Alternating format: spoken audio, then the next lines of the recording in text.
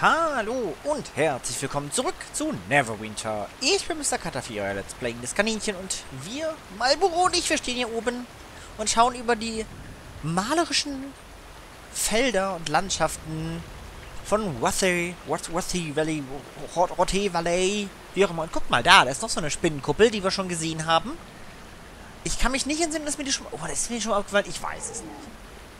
Ich weiß es nicht. Wir sind aber gar nicht da unten unterwegs, sondern hier oben, um dem Kult der Drachen entgegenzutreten. Wir kämpfen also nicht direkt gegen die Drow gerade, sondern versuchen etwas Größeres, ein größeres Übel aufzuhalten. Wir haben ja schon erfahren, dass die Kultisten hier mit den mit dem Mithril auf jeden Fall arbeiten. Sie scheinen die Blitze des Drachen Venfita aufnehmen oder sammeln zu wollen, um damit irgendein Artefakt der, der, der Wolkenriesen zu aktivieren. Und das scheint auf sehr krude Art und Weise dann zu irgendetwas zu führen, was bestimmt schlecht ist für Neverwinter und vielleicht auch die ganze Schwertküste oder noch größeres. Dagegen wollen wir ein schreiten. Dafür gibt es mehrere Dinge, die wir machen, die wir jetzt äh, schon gemacht haben und machen wollen. Also wir haben jetzt Venfita schon einmal besiegt. Wir haben die Pläne von denen geholt und auch ein paar der Sklaven gerettet. Und ich habe mich mit den Talenten ein bisschen auseinandergesetzt und ich werde hier unten den Lichtpfad wählen. Ich kann ja jederzeit, wenn ihr sagt, Gott, Katafee ist total blöd, was du dir jetzt gleich überlegst. Also wenn wir, wenn du erfährst, wenn ihr erfahrt, was ich mir überlegt habe, das klingt total doof, was du dir überlegt hast dann kann ich das ja noch ändern, aber nur das ist jetzt mein Plan. Und zwar, ich habe ja noch 15 Vorbildpunkte bekomme ich ja noch. Ähm, ich bin jetzt Level 55, bis Level 70 kriegt man Vorbildpunkte, das sind nach Adam Ries noch 55. Und 55, noch 15 und damit komme ich also bis nach hier, bis in diese Spalte. Und beim Lichtpfad gibt es hier zum einen das die Bastion des Kriegers, dass meine Verteidigung noch erhöht wird, was glaube ich nie schlecht ist, mehr Verteidigung zu haben.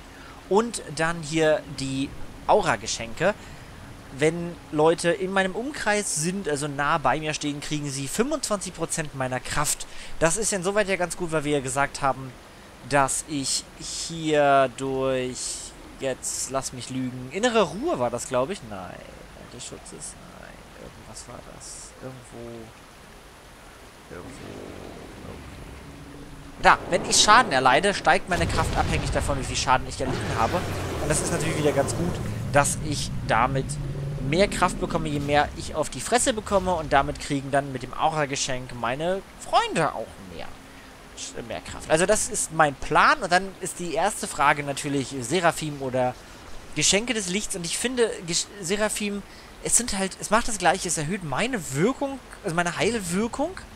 Also wenn ich das richtig sehe, aber das immer und das nur wenn ich Schaden bekomme, gibt es die Chance. Da klingt das irgendwie cooler, auch wenn es ein bisschen weniger bringt, aber das ist halt permanent. Ich muss nicht voll auf die Fresse kriegen. Naja, das haben wir noch gemacht und ich habe dann noch einen weiteren Schritt getan. Und zwar habe ich hier eine Insignie gesammelt. Vielleicht ist es euch aufgefallen, dass ich die gesammelt habe zwischendurch. Und damit haben wir jetzt bei unserem marmorierten Hengst die, den Insignienbonus Freundschaft des Beschützers. Jedes Mal, wenn unsere Gefährte angreift, kriegen wir 1% unserer Kraft und Verteidigung als Bonus. Das ist A nicht viel und B momentan komplett nutzlos, da Malbro nicht angreift. Aber das können wir ebenfalls hier bei unserem Waterdeep-Pferd auch... Nein, können wir nicht. Aber bei unserem Wildlederschlachtross... Nein, können wir auch nicht. Aber bei unserem bei unserem Winterwolf als Gefährten geschenkt, beziehungsweise als, als Freundschaft des Beschützers auch bekommen. Und die stacken ja. Und da müssen wir, wenn wir das mehrfach haben, überlegen, ob wir dann Marlboro nicht wieder gegen Schnuffel austauschen oder gegen einen anderen Gefährten, der angreifen kann. Gut. Lange noch geschwafelt. Wir reden mit dir. Wir haben Quests abzugeben. Ausgezeichnet. Ausgezeichnet. Wenn jetzt auch noch Verstärkung der Allianz eintreffen würde? Unglaublich. Der Kult hat all das Mithril den ganzen Weg von Icefire Peak bis hierher transportiert, um Gefäße anzufertigen, die den Blitzatem des Drachen einfangen können. Was machen sie mit den eingefangenen Blitzen? Und wieso scheint es, als ob sie noch weiteres Mithril für eine Art Bauprojekt benötigen?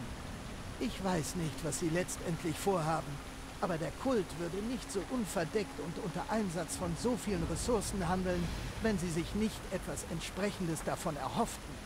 Worüber ich mir sicher bin, ist, dass deren Pläne, sich mit den Drow zu verbünden, nicht geduldet werden können. Definitiv. Da müssen wir intervenieren. Ich danke euch. Ich könnte den Gedanken nicht ertragen, sie wieder in der Gefangenschaft der Drow zu sehen. Sklaverei ist nie gut. Aus den Unterlagen, die ihr gefunden habt, geht deutlich hervor, dass die Blitze, die der Kult in den Gefäßen verwahrt, essentiell für deren oberstes Ziel sind. Was auch immer dieses sein mag. Ich bin mir jedoch sicher, dass alles, was dem Kult hilft, schlecht für uns ist. Solange ihr nicht damit liebäugelt, von Drachen regiert zu werden. Was würdet ihr davon halten, bei einigen dieser schicken Flaschen die Korken knallen zu lassen? Naja. Also, es gibt da schon einen Drachen, eine Drachin. Wie ist die weibliche Form von Drache? Ist Drache geschlechtsorientiert oder ist Drache einfach der Begriff für die Le für das Lebewesen, für die Art? Und gibt es dann ein Drachenmännchen und ein Drachenweibchen? Ich kenne mich mit Drachen nicht aus. Es gibt auf jeden Fall einen weiblichen Drachen mit mehreren Köpfen, wo ich schon sagen möchte, da würde ich vielleicht mich schon dazu entschließen. Wir machen es ja schon kaputt. Keine Sorge, wir machen eine Fläschchen kaputt. Blitzgefäße sabotieren.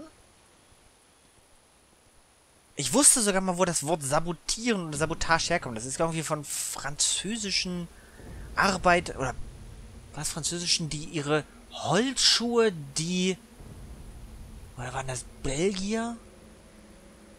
Auf jeden Fall hat es was mit ihren Holzschuhen zu tun, die sie in, in die Getriebe reingeworfen haben und diese Holzschuhe hießen irgendwie Sabot und damit wurde es zur Sabotage. Irgendwie so. Ist egal, wir machen es kaputt. Ich habe keine Ahnung. Ich bin ein Paladin, ich bin nicht dazu da, nachzudenken. Es ist kaputt. Hoffe ich mal. Sind übrigens auch ganz hübsch, ne, muss man sagen.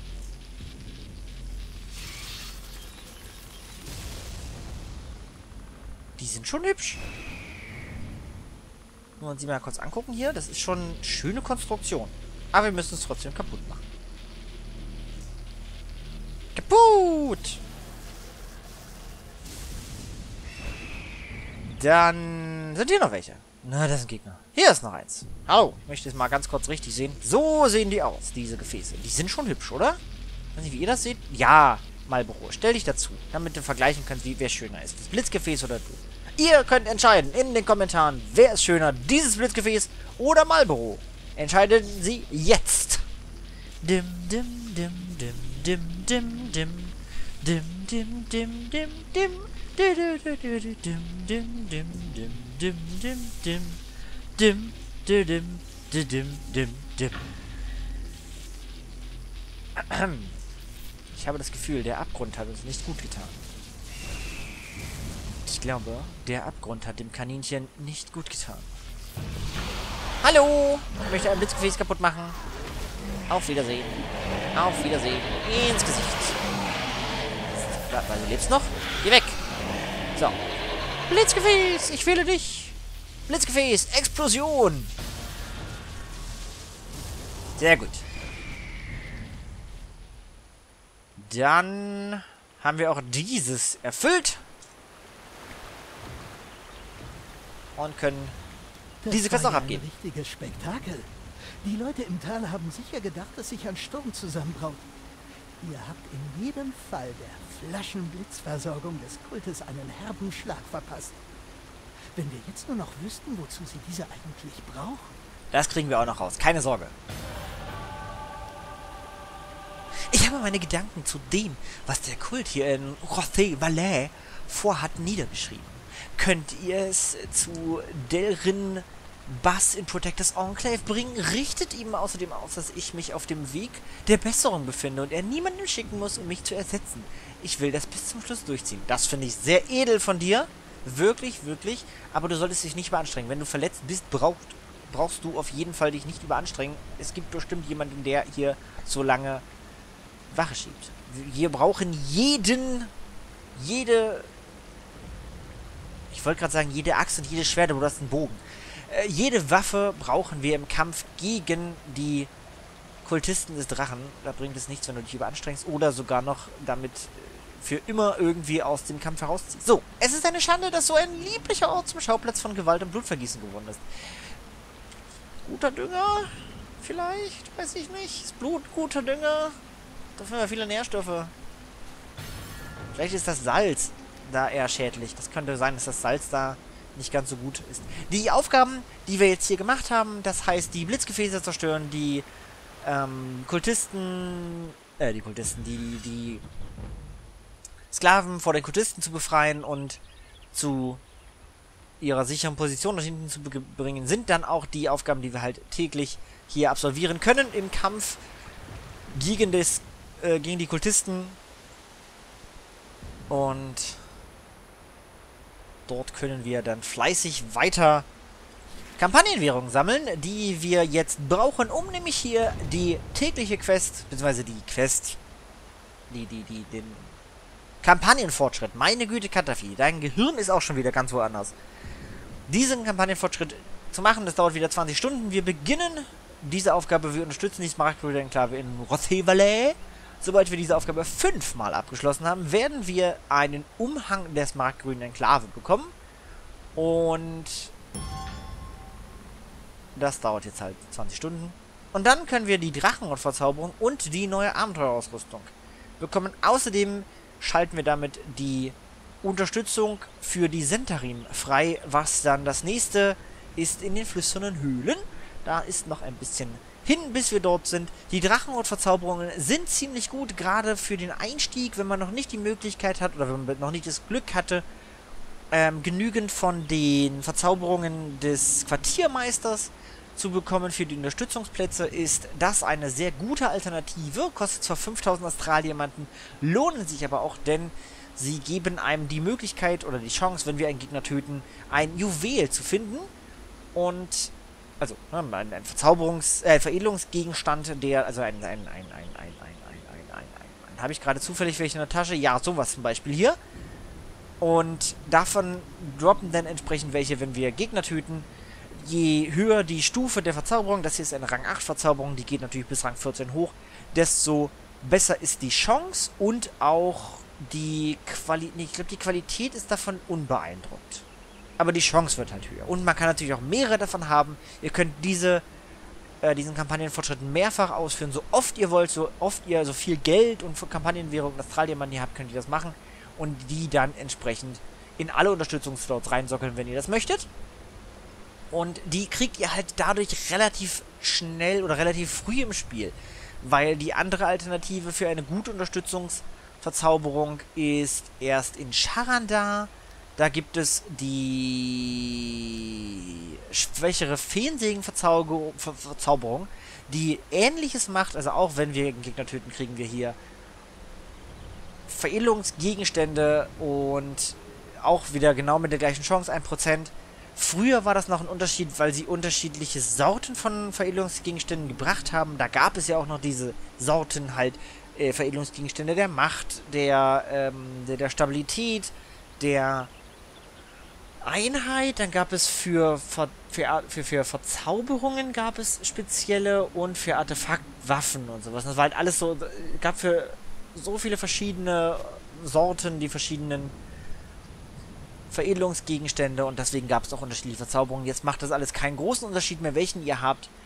Und da ihr hierfür erst Charanda freigeschaltet haben müsst, was erst mit Level 64 geht, dann müsst ihr komplett Charanda durchgespielt haben, um die Ritualmagie zu unterstützen, ist hier die Möglichkeit mit den Drachen, äh, den Drachenhort-Verzauberungen viel, viel früher in, äh, für euch frei, dass ihr das bekommt. Ihr müsst halt nur das hier haben. Das geht ab Level 52. Könnt ihr hier einen Marschgefehler abschließen und dann könnt ihr die freischalten. Holen. Ihr braucht halt nur Astraldiamanten. 5000 ist jetzt schon ein Pappenstiel. Äh, ist kein Pappenstiel. Wir können mal ganz kurz gucken. Komm, wir machen uns mal, weil wir gerade eben dazu passendem Thema sind. Die Drachenhort mit T natürlich. Dankeschön. Die Drachenhort-Verzauberung könnt ihr euch auch auf Astraldiamanten mal kaufen. Ihr seht, dass die doppelt so viel kostet, also 5000 in der Herstellung, 11.000 in der im Auktionsmarkt ähm, ist halt die Frage, ob ihr die 6000 Astraldiamanten mehr ausgeben wollt. Ist vielleicht auch die eine oder andere Möglichkeit, Geld in Astraldiamanten umzuwandeln, wenn ihr das möchtet. Ist natürlich die Frage, wie viel die gekauft werden. Das kann ich absolut nicht einschätzen. Ich habe es nicht versucht, die auch zu verkaufen, weil ich da nicht dran gedacht habe. Gebe ich ganz ehrlich zu. Ich habe das mal eine Zeit lang gemacht Hab's dann irgendwann wieder aufgehört. Ich weiß nicht, ob die jetzt noch verkauft werden. Ich kann es nicht sagen. Also ich persönlich würde sagen, nein, weil warum sollte ich die kaufen, wenn ich die auch für 5000 Australienmann herstellen kann? 6 Gold. 6 Gold wirken am Anfang echt noch viel. Ihr seht auch, ich habe kaum Gold. Aber das ist nur eine Frage der Zeit. Ähm, ihr kriegt sehr schnell sehr viel Gold. Gold wird später auch absolut kein Problem mehr werden, dass ihr ständig äh, die Verzauberungen austauschen müsst. Das wird später auch nicht mehr so sein aus der Ausrüstung. Und dann habt ihr auch keine große Goldausgabe mehr. Das ist ja momentan der Grund, weswegen ich Gold verliere. Naja, dazu gibt es auch noch später ein Video. Wenn Modul 15 rauskommt, werde ich nochmal ein Video dazu machen. Auch wie ihr an Gold kommt, wird dazu nochmal für Neulinge erklärt werden. Gibt es Verzauberungen für und Segen. Hast du nicht gesehen? Also hier ganz kurz, kann ich ja schon mal... Ach komm, wir machen, wir decken das ganze Thema ganz kurz mal ab. Ähm, und zwar, wenn ihr Gold braucht, könnt ihr die Lichtverzauberungen in einen Unterstützungsplatz sockeln. Ihr seht, die bringen Goldbonus. Ihr bekommt also mehr Gold für jeden getöteten Gegner, beziehungsweise für jeden Drop. Und es gibt auch, wenn ihr in einer Gilde seid, die entsprechend in der Gildenfestung schon Segen freigeschaltet habt, gibt es hier den Schatzjäger, wo ihr entsprechend auch mehr Gold bekommt, abhängig davon, wie weit die Entdeckergilde in eurer Gilde aufgestuft ist. Und das sind zwei sehr relativ einfache Möglichkeiten an Gold zu kommen, weil Lichtverzauberungen droppen ihr habt eh in den Unterstützungsverzauberungen noch nicht so die nötigen Sachen, je nachdem, wenn ihr jetzt eh noch die Drachenverzauberung zum Beispiel braucht, ähm, ist da ja noch nichts drauf. Und mit den Gilden, es gibt hier jetzt auch in dem Unterstützungsbereich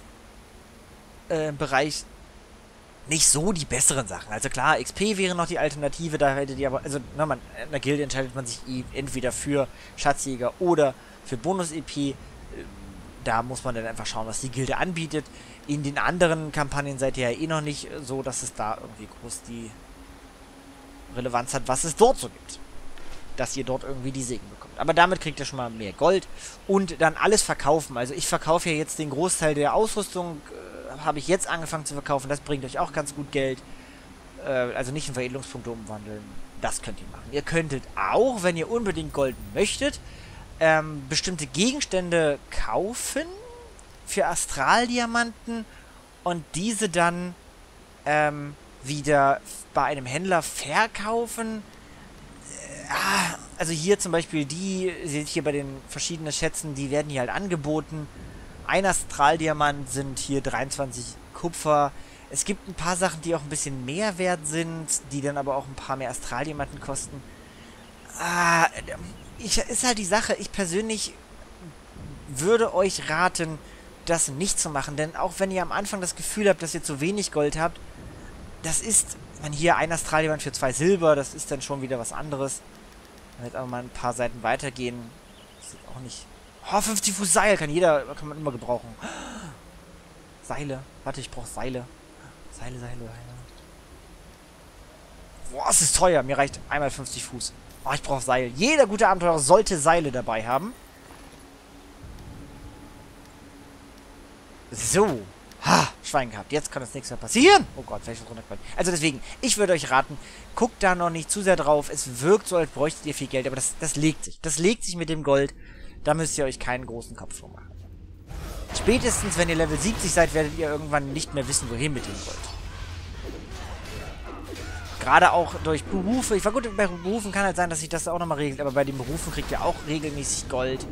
Momentan jedenfalls, wenn ihr ähm, Führungsberufe macht, die bringen euch konstant Gold. Und das ist halt, es gibt so viele Quellen für Gold. Stimmt, hier, momentan auch noch durch die... Ich weiß nicht, wie es sich jetzt im Modul 15 ändert mit dem Gold, aber hier kriegt ihr zum Beispiel auch regelmäßig Silber und, und, und äh, verschiedene Mengen an Gold. Einfach dafür nichts tun sozusagen. Und deswegen, da muss man jetzt nicht groß den Fokus drauf legen. Das kommt mit der Zeit alles. So, Genug um Gold. Wir sind ja nun hier keine geldgierigen, goldgierigen Zwerge, die nicht für die Gemeinschaft arbeiten und dafür Gutes tun wollen, sondern, nur auf die glänzenden Gegenstände äh, gucken. Sondern wir sind Helfen, die helfen! Ich habe gehört, dass ihr im Tal seid. Es wäre mir lieber gewesen, wenn ihr beim ersten Angriff der Drow hier gewesen wärt. Aber mir ist das Leben eines Abenteurers nicht fremd. Andererseits ist es wohl am besten so, wie es gekommen ist. Die Drow haben etwas vor und wir müssen sie aufhalten. Ja, und ich bin ein helfender Elf. Die Drow lassen ihre Spinnen das Dorf einweben und zeitgleich alle zurückgebliebenen Bewohner in ihren Häusern einschließen. Wenn ihr ein paar von diesen Spinnen erledigen könntet, wäre ich imstande, diese Leute dort rauszuholen. Im Dorf südlich von hier ist es am dringendsten. Aber andererseits ist jede tote Spinne in Rothy Valley eine gute Spinne. Ja. Naja, ja. Ich habe ja angekündigt, Leute mit Arachnophobie werden keinen Spaß haben. Jetzt kommt der Bereich. Freund, ich hätte eine Bitte an euch. Viele der Dorfbewohner konnten vor ihrer Flucht aus dem Dorf ihre Häuser verbarrikadieren. Innen drin befindet sich der Großteil der Ernte dieses Jahres, die wir benötigen werden, sobald dies alles hier vorbei ist. Da ihr euch auf dem Weg zum Dorf befindet, wäre ich dankbar, wenn ihr überprüfen könntet, ob einige dieser Türen immer noch verschlossen sind. Die Spinnen sind zwar fürchterlich, aber sie sollten nicht in ein verschlossenes Haus hineingelangen können. Das klingt sehr gut durchdacht. Diese verfluchten Drow haben aus unseren Häusern und Geschäften ein riesiges Spinnennest gemacht. Schlimmer ist, dass sie unschuldige Zivilisten gefangen halten, um sie zuerst als Sklaven zu missbrauchen und hinterher an die Spinnen zu verfüttern. Zu meinen Glanzzeiten wäre ich selbst damit fertig geworden, aber jetzt bin ich auf eure Hilfe angewiesen. Ja, es sieht so aus, als hättest du ein bisschen, ein bisschen, äh, bist, wärst du ein bisschen gewachsen, vor allen Dingen so um die Mitte rum. Kann ich gut nachvollziehen. Da leide ich mit. Gut. Wir töten Spinnen. Bevor wir über Spinnen töten, machen wir einen kleinen... Yay! Hallo, geheimnisvoller Drow. Wollt ihr etwas? Ich muss los. Und zwar gibt es hier ein kleines... einen kleinen Gag, den sie eingebaut haben, sozusagen. Und zwar unter einer dieser Brücke, Brücken steht ein Troll. Ein Brückentroll vielleicht? ich finde, das ist ein... Dieser Troll hier. Dieser Troll ist, glaube ich, wirklich ein kleiner Gag. Ein Troll unter einer Brücke. Also ich finde, das ist, auch wenn es dafür nichts gibt irgendwie...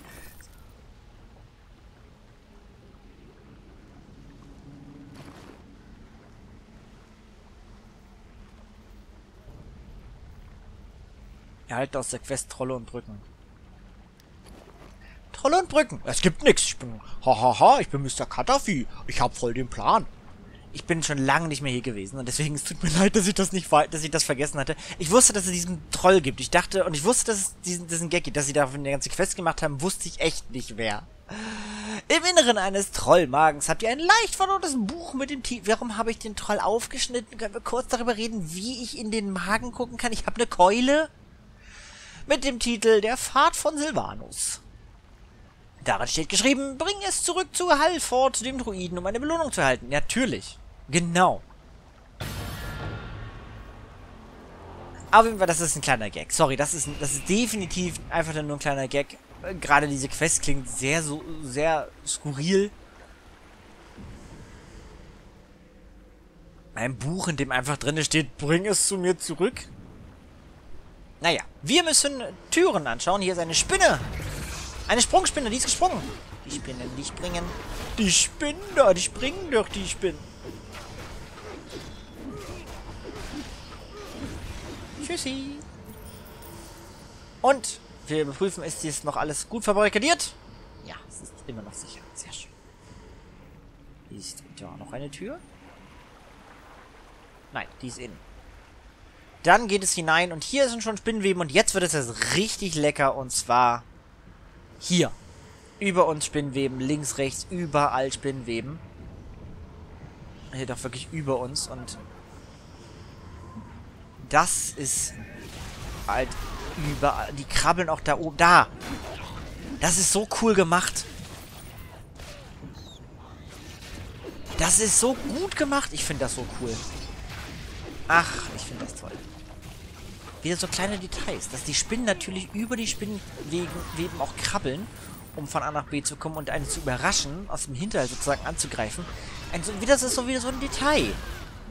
Weißt du, hätten sie die Spinnweben einfach nur dahin gemacht und das nicht als begehbare Ebene für Spinnen gemacht, wäre das niemandem aufgefallen. Aber dadurch, dass sie es gemacht haben, wirkt es so viel echter.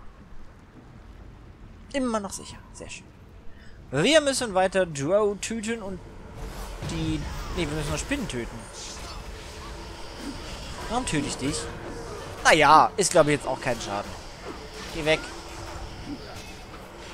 Ein Schleierweber. Davon kennen wir ja, die haben wir schon gesehen. Das sind jene, womit hier diese komischen... Hallo Venfita.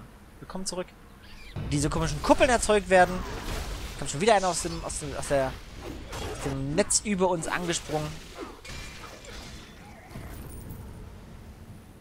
Wir müssen eigentlich Drow töten. Da ist eine Tür. Drow Assassin töten. Hier gibt's, glaube ich, keiner, oder? Gibt es hier Drow Assassin? Dämonennetz? Schwert auf den Kopf! Ich werde von oben, habe ich gesagt. So heißt der Skill. Ja, ja, das ist der offizielle Name dieses Skills. Also, ne, achtet nicht darauf, was in, in, in der Übersicht angegeben ist, wenn ihr auf die Kraft, Kräfteübersicht geht. Dieses Skill heißt äh, Schwert von oben. Also, das ist der offizielle Name. Wir müssen noch Spinnen töten. Spinnen! Geht weg, ihr Spinnen. Weg, weg, weg. Weg, weg, weg. Hier wird nicht gesprungen. Ich kann auch nicht springen. Wir haben noch keinen einzigen Ausspielstein entdeckt. In ganz Rosé Valley fällt mir gerade auf. Ha! Ja, muss ich wohl noch ein bisschen mich umschauen. Na gut, wir töten mal noch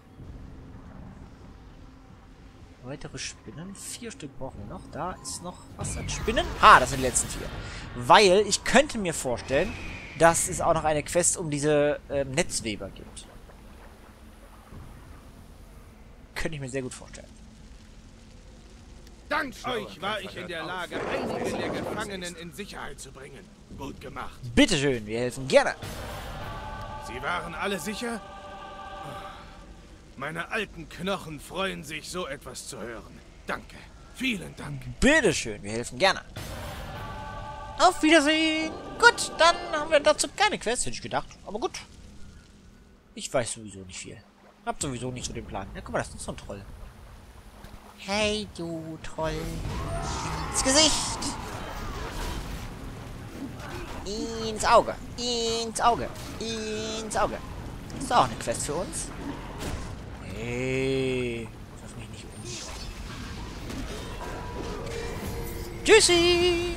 Trolltüter. Und ein Ring im Blauen, aber kein Quest-Item. Okay. Malboro, warum machst du? Warum tust du?